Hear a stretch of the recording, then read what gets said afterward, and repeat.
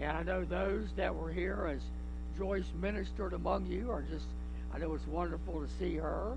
And just to let you know, Joyce, we do have an opening for a part time pianist, and uh, you're welcome. I can call a business meeting right now and uh, just get you right in. But uh, if not, I'll let you think about it for a day or two, and uh, Willard will be calling. it is good to see you. Uh, we are learning this fall uh, about the path to personal and congregational renewal. How do we renew our faith? How do we revive the fire that uh, God wants to put in us so that we can be partners in His ministry?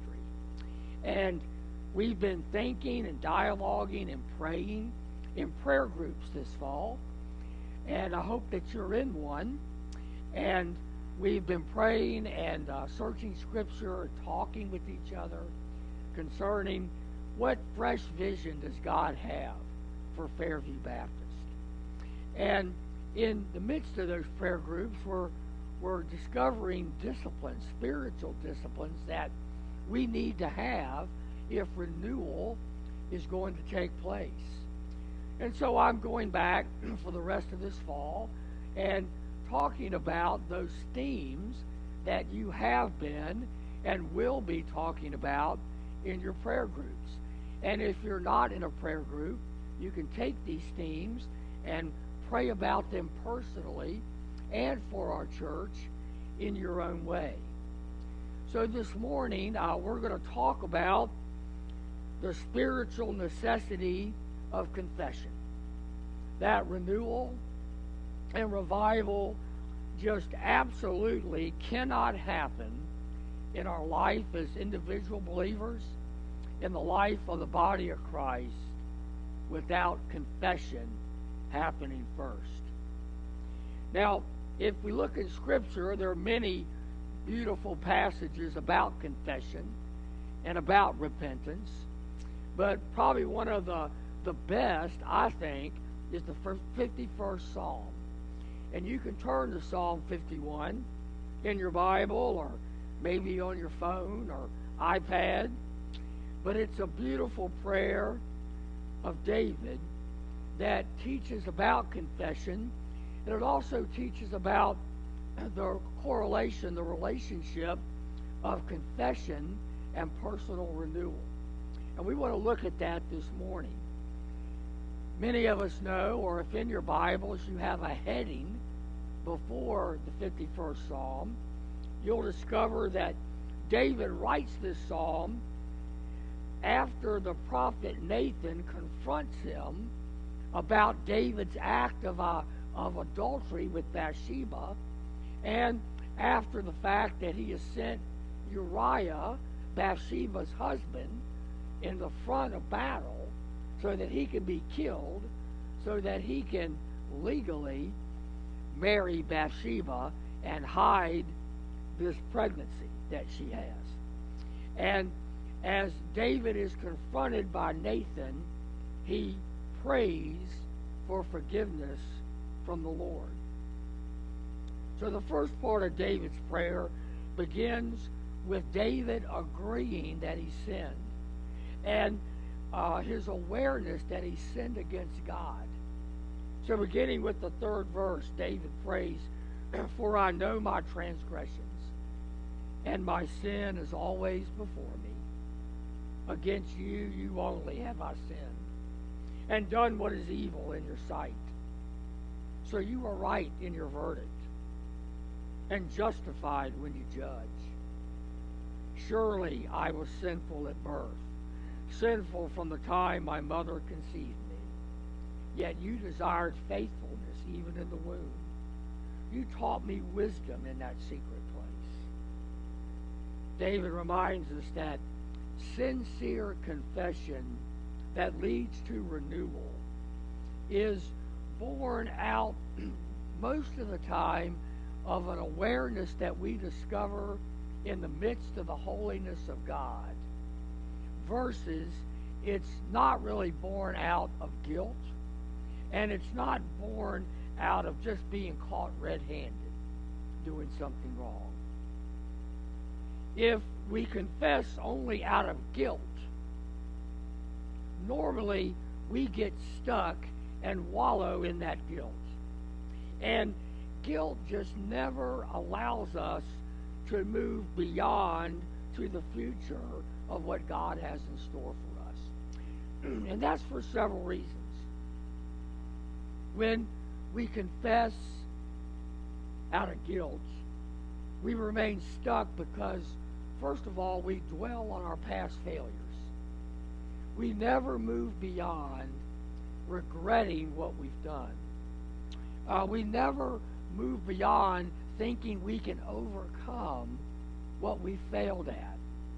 And I know in my life, many, many times, it's something that I have done or a sin I committed, something I said, something I'm ashamed about, a movie from my past that goes on in my mind that reoccurs from time to time. And I say to myself again, why did I do that? Why did I say that? I wish I had that day over, those moments over. I must have looked like an idiot when I, in those moments. Gosh, I, I just, all right, now I can just feel the embarrassment 30 years later of that time. Have you ever done that?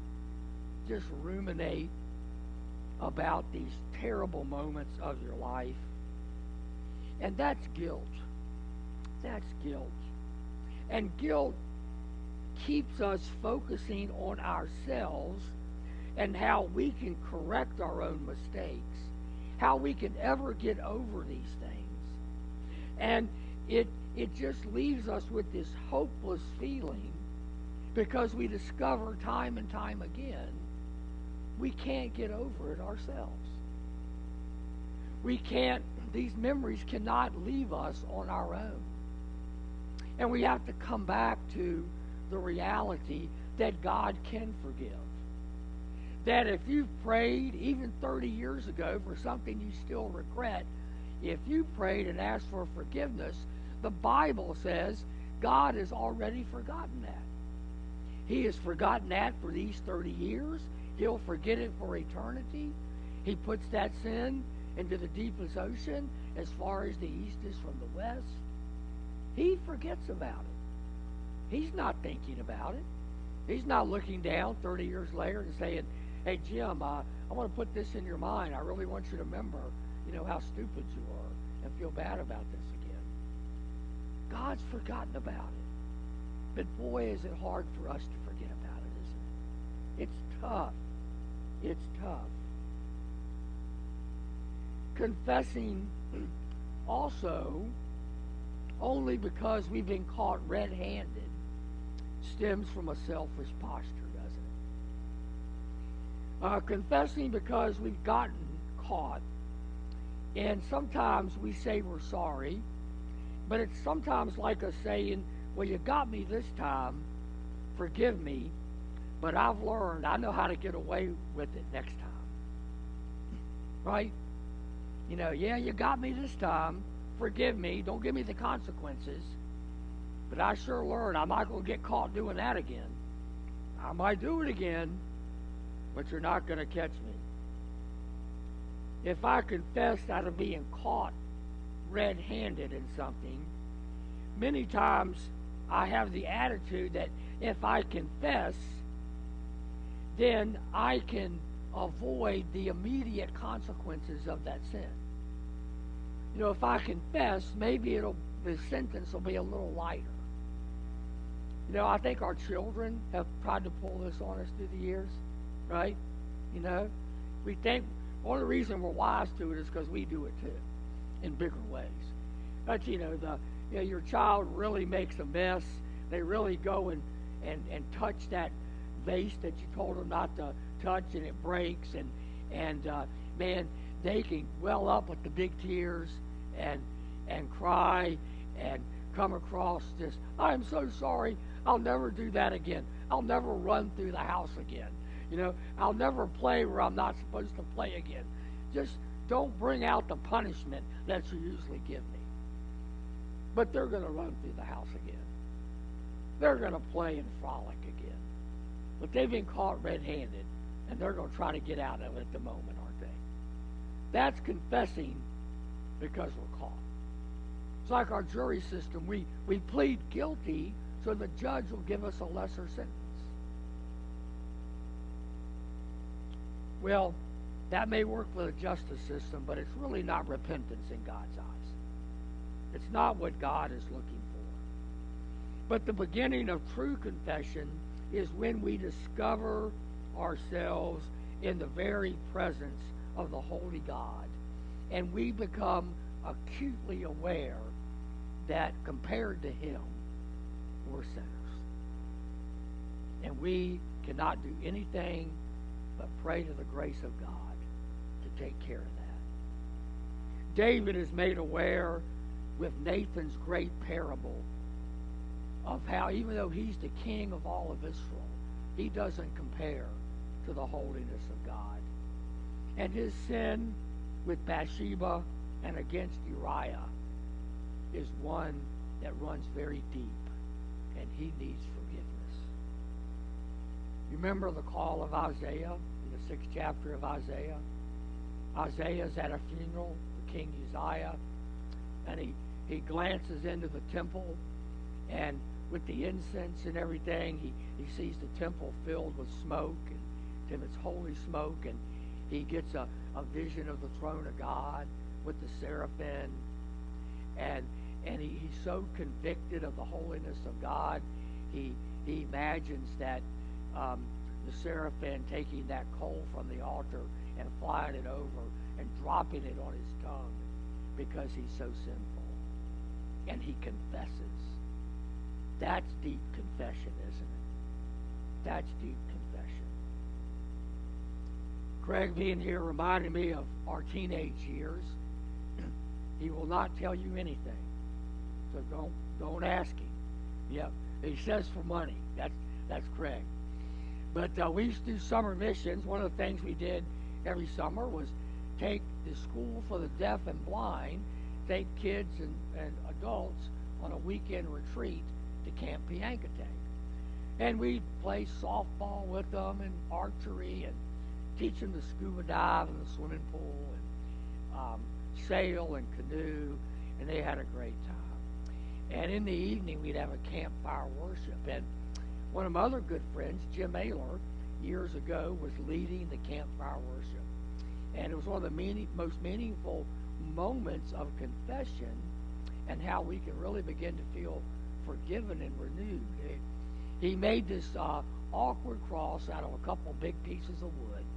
And at the end of his devotional about the cross, he gave us all little pieces of paper, um, impaired and counselors. And he said, write down a sin, write down something you're struggling with, write down something you can't get over on this piece of paper.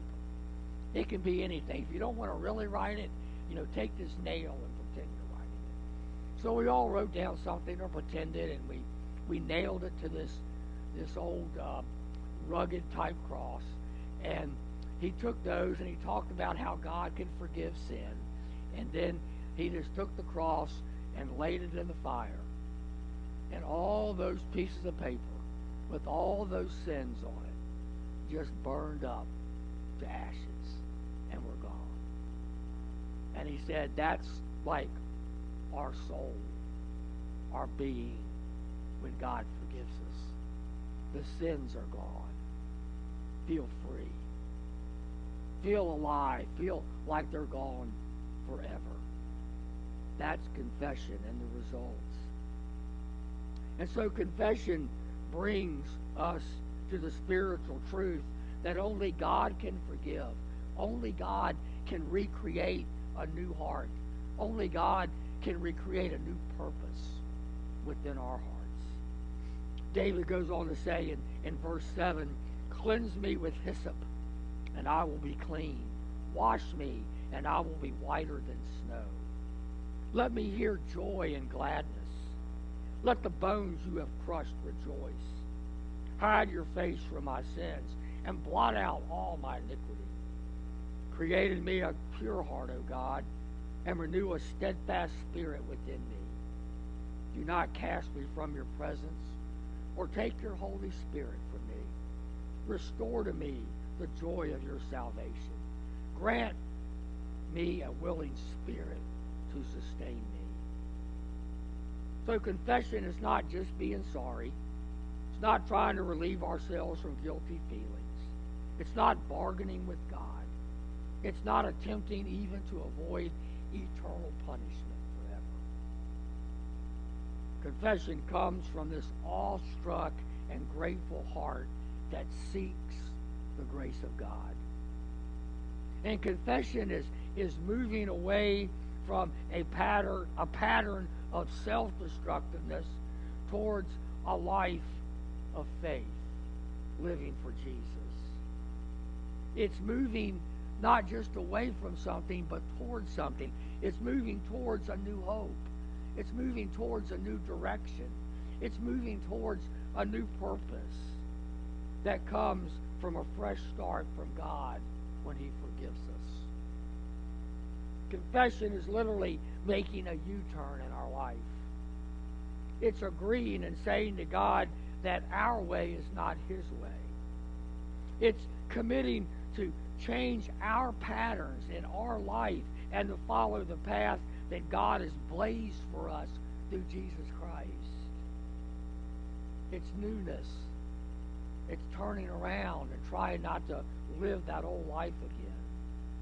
And we realize we are truly confessing when we present our true selves to God. You know you're truly in confession when you're having an honest conversation with the Lord.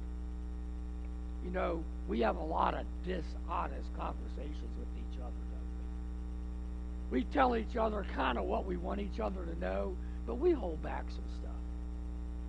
We don't we don't bare our whole soul with everybody. Maybe even our closest friends. but in confession, we can be brutally honest with God. Because God knows if we're not, right? Why hold it back from God? And you know your faith in God is, is getting stronger and, and you're ready to trust in God fully. Like Miriam said, it takes sometimes takes a year for some of these refugees to really figure out what it means to know Jesus and follow him. But you know you're ready when you're having that open, honest, pure conversation with God and say, Here I am, Lord. And God says, I accept you. Just as you are, asking for forgiveness. Thank you for being honest. Thank you for sharing your soul. It's from this posture of forgiveness when our hearts are finally cleansed that's when revival occurs. That's when renewal happens. And we can't really receive a fresh vision from God for ourselves or for our church until we've had that forgiveness from true confession. David knew it. He goes on in verse 13 after he um, asks for forgiveness. He says, Then I will teach transgressors your ways so that sinners will turn back to you. Deliver me from the guilt of bloodshed, O God, you who are God my Savior, and my tongue will sing of your righteousness. Open my lips, Lord, and my mouth will declare your praise. You do not delight in sacrifice, or I would bring it. You do not take pleasure in burnt offerings. My sacrifice, O God, is a broken spirit, a broken and contrite heart. You, God, will not despise. It's the realization of being clean, forgiven, that motivates us towards having a new future. Whether this morning you need a new future in your own life, you need to come out of whatever you're working on now, dealing with now, and need a new beginning, or whether a church is looking for a new beginning and a new vision and a new purpose that God has for it. We have to come with a forgiven heart. And a forgiven person, when we're truly forgiven, that's when we desire and yearn for others to experience the forgiveness that Christ has given us? Don't you want everybody else to know the cleanliness of heart that you have of being forgiven? When you truly experience that forgiveness, you can't help but tell somebody else about it. Because you want everybody to know. And so it's personal confession. It's corporate confession that'll motivate us as individuals and as a congregation to be Great Commission believers, to be mission focused in our life and mission focused as a body of Christ at Fairview. May we begin with confessing this hour. Let's pray together. Lord, thank you for your word. Um, your word penetrates sometimes. It uh, it convicts. Lord, may we have courage to be honest with you, lay open to you our life, that we may know true forgiveness as we repent our sin. In your name we pray.